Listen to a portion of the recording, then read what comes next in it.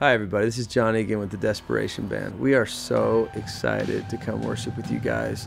All over the world, we've been seeing tremendous things happen as revivals of compassion and the revivals of power have been growing.